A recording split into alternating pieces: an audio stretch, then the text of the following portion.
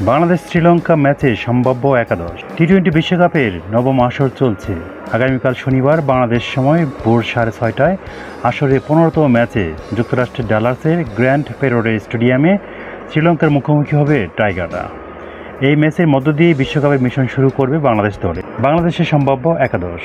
রয়েছেন তানজিদ হাসান, তামিম, সৌম্য সরকার, লিটন কুমার দাস, নাজমুল হোসেন শান্ত, অধিনায়ক, সাকিব আল হাসান তৌহিদ হৃদয়, মাহমুদুল্লাহ, শেখ মাহাদি হাসান, তাসকিন আহমেদ, শরীফুল ইসলাম, মোস্তাফিজুর রহমান।